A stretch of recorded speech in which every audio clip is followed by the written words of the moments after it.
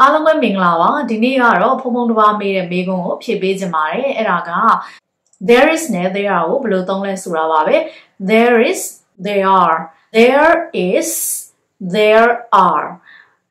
အတိုးဆိုမယ်ဆိုလို့ရှိရင်မြ мян ဆိုမယ်ဆိုလို့ရှိရင် there is there are ဟုတ်ပြီနော်နှစ်ခုစလုံးရဲ့အတိတ်ပဲကမှားရှိတယ်ဆိုတဲ့အတိတ်ပဲပါဆိုလိုတာက တခုခုမှာရှိတယ်ဥပမာစာအုပ်ဟာစပွဲပေါ်မှာရှိတယ်ငါတို့အိမ်နာမှာကြောင်းတစ်ကြောင်းရှိတယ်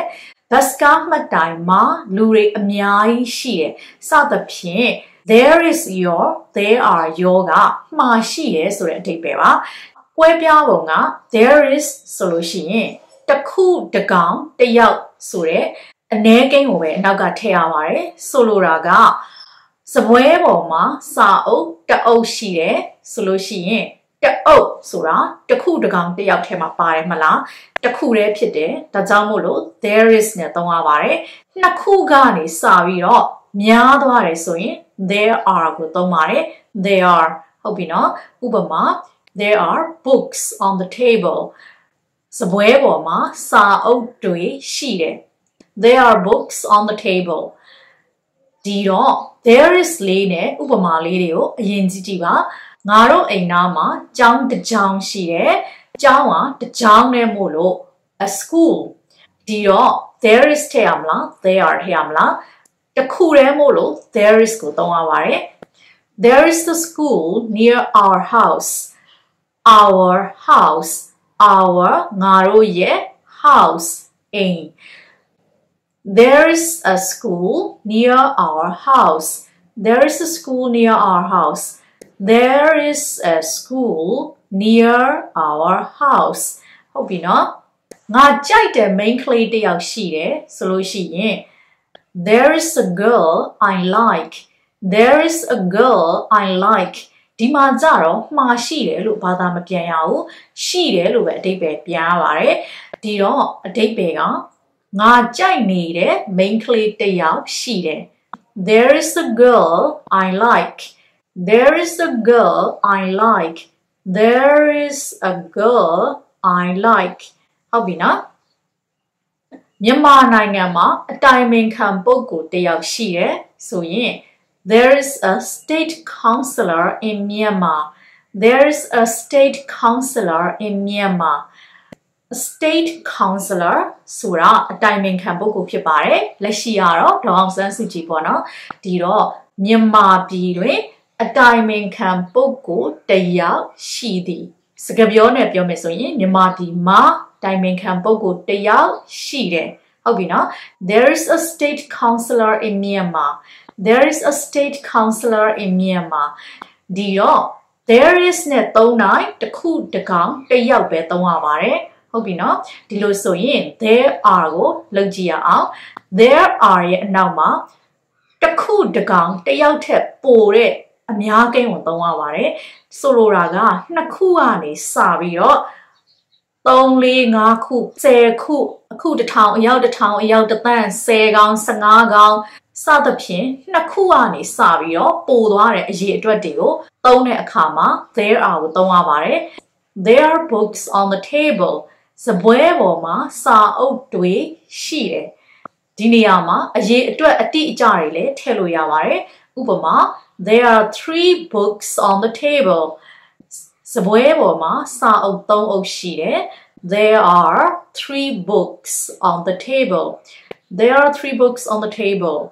ဟုတ်ပြီနော်ငါတို့လမ်းထဲမှာခွေးတွေရှိတယ်ဒီလိုဆိုရင် there are dogs in our street There are dogs in our street. There are dogs in our street. Street land. Dogs ခွေးများဟုတ်ပြီနော် There are ဆိုတော့ရှိကြတယ် There are dogs in our street ကျမရဲ့အတန်းထဲမှာကျောင်းသား20ရှိပါတယ်ဆိုလို့ရှိရင် There are 20 students in my class. There are 20 students in my class. There are 20 students in my class အယောက်20မို့လို့ there are ဆိုရယ်အများနဲ့သုံးရပါတယ်เนาะမြန်မာနိုင်ငံမှာလူသန်းပေါင်း60ရှိတယ်ဆိုရင် there are 60 million people in Myanmar there are 60 million people in Myanmar 60 60 million သန်း people လူများ in Myanmar မြန်မာပြည်မှာဒီနေ့ကမ္ဘာမှာ နိုင်ငံပေါင်း195နိုင်ငံရှိတယ်ဒီလိုဆိုရင် there are 195 countries in the world today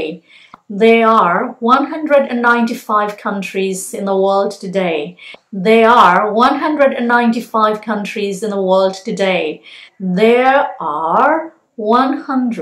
195 countries in the world today 195 countries နိုင်ငံများ in the world ကမ္ဘာပေါ်မှာ today ယနေ့ယနေ့ခေတ်မှာလို့လည်းအဓိပ္ပာယ်ရပါတယ်ဒီနေ့ခေတ်မှာကမ္ဘာပေါ်မှာနိုင်ငံပေါင်း195နိုင်ငံရှိပါတယ်တကယ်လည်းအဲ့ဒီလောက်ပါပဲเนาะဘတ်စကားမှတ်တိုင်မှာလူတွေအများကြီးရှိတယ်ဆိုရင် there are many people at the bus stop M A N Y money ဆိုတာအများကြီးလို့အဓိပ္ပာယ်ရတယ်ဒီနေရာမှာအများကြီးလို့မသုံးမဲနဲ့တချို့ရှိတယ်ဆိုရင်လည်း there are ကိုပဲသုံးလို့ရပါတယ် there are some people at the bus stop there are some people at the bus stop ဒီအသုံးနှုန်းမှာနောက်ဆုံးတစ်ခုပြောချင်တာက uncountable noun လို့ခေါ်တဲ့ရေတွက်လို့မရတဲ့နာမ်နေနဲ့ဆိုလို့ရှိရင်ဘလောက်များများ there is ကိုပဲသုံးရပါတယ်ဥပမာရေဆိုလို့ရှိရင်ရေတွက်လို့မရဘူး ဆိုလိုတာက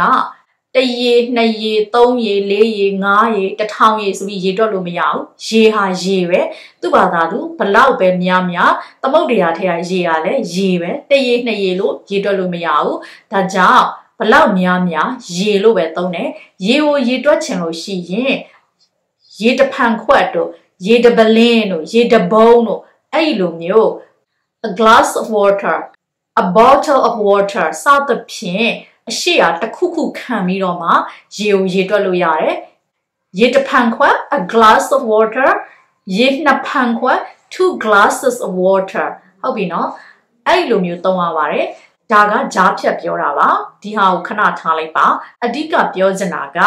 အဲ့လိုမျိုးရေတွက်လို့မရတဲ့နံနေဆိုတာရှိတယ်နောက်ဥပမာတွေကိုပြောရရင်နွားလို့ဆိုရင်လည်းရေတွက်လို့မရဘူး ice cream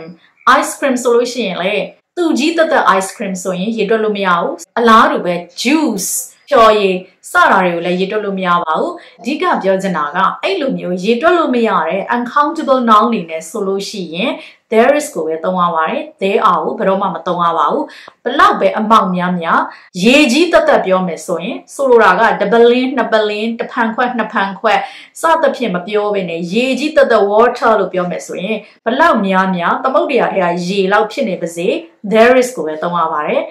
there is water in the pot there is water in the pot အိုးထဲမှာရေရှိတယ်ရေခဲတစ်တာထဲမှာနွားလို့ရှိတယ်ဆိုရင် there is milk in the fridge there is milk in the fridge မင်းရရှက်အင်ကြီးပေါ်မှာ ice cream တွေရှိနေတယ်ဆိုလိုတာက ice cream ပေးနေတယ်လို့ပြောချင်တာဖြစ်တယ်ဒါကိုပေးနေတယ်ဆိုတဲ့စကားလုံးမသိဘူးဆိုရင် there is နဲ့ပြောရင်လည်းရပါတယ် there is ice cream on your shirt there is ice cream on your shirt there is ice cream on your shirt there is ice cream on your shirt shirt ရှက်မဟုတ်ပါဘူး shirt ဟုတ် shirt ဟုတ်ပြီနော် there is ice cream on your shirt ဟုတ်ပြီနော်ဒီလိုဆိုရင်ဒီဖုံဖုံတစ်ပါမေးထားတယ်ဒီသင်ခန်းစာလေးကိုအချုပ်ပြောရမယ်ဆိုလို့ရှိရင် there is your there are your ကအတိတ်ပဲအတူတူပါပဲ မှာရှိတယ်ဆိုတဲ့အဓိပ္ပာယ်ပါတချို့နေရာတွေမှာတော့ရှိတယ်လို့ပဲအဓိပ္ပာယ်ရတယ်တချို့နေရာတွေမှာမှာရှိတယ်ပေါ့နော် there is ကတခုတကောင်တယောက်ဆိုတဲ့အ ਨੇ ကိန်းနဲ့သုံးပြီးတော့ there are ကတော့တခုတကောင်တယောက်ထက်ပိုတဲ့တနည်းအားဖြင့်ပြောရရင်နှစ်ခုကနေစပြီးတော့နှစ်ခုနှစ်ကောင်နှစ်ယောက်စတဲ့အရေးအတွက်ကစပြီးတော့ there are ကိုသုံးရပါတယ်ဟုတ်ပြီနော် နောက်ဆုံးတစ်ခုကတော့ uncountable noun လို့ခေါ်တယ်ရေတွက်လို့မရတဲ့နာမ်တွေမှာဆိုလို့ရှိရင် there is ကိုသုံးရပါတယ်ဘလောက်ပဲများများ uncountable noun ကြီးတက်တက်ဆိုလို့ရှိရင်ခုနပြောတဲ့အတိုင်းပဲရေကြီးတက်တက်ပြောမယ်ဆိုရင်ရေတဖန်ခွက်တို့ရေပလင်းတို့မပြောဘဲနဲ့ရေကြီးတက်တက်ပြောမယ်ဆိုရင်တော့ဘလောက်များများ there is ကိုပဲသုံးရပါတယ်ဟုတ်ပြီနော်ဒီဗီဒီယိုလေးကတော့ဒီလောက်ပါပဲနောက်ပိုင်းမှာဆက်ပြီးတော့ tense တွေအကြောင်းကိုပြောပြသွားပါဦးမယ်နော် tense တွေကအရန်ကိုရေးကြည့်ပါတယ်အားလုံးပဲစိတ်ချမ်းသာခြင်းကိုယ်ကြီးကျန်းမာခြင်းနဲ့ပြည့်စုံကြပါစေ။